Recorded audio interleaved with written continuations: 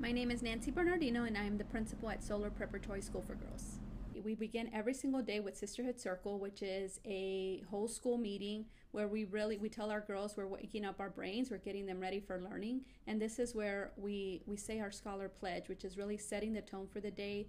That our focus is to to get ready for learning. We have a social emotional learning curriculum that's centered around our Solar Six, which are our values of curiosity, self awareness, empathy, humility, leadership, and grit.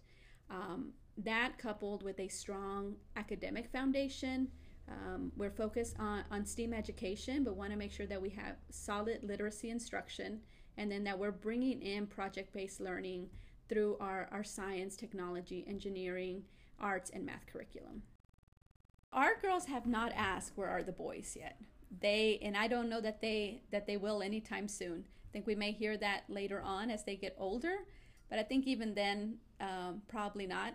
I think it almost gives them a sense of comfort to know that they're coming to a school that's just surrounded um, by by females. We want our girls to be the trailblazers and really pave the path for other women and the girls that will follow them.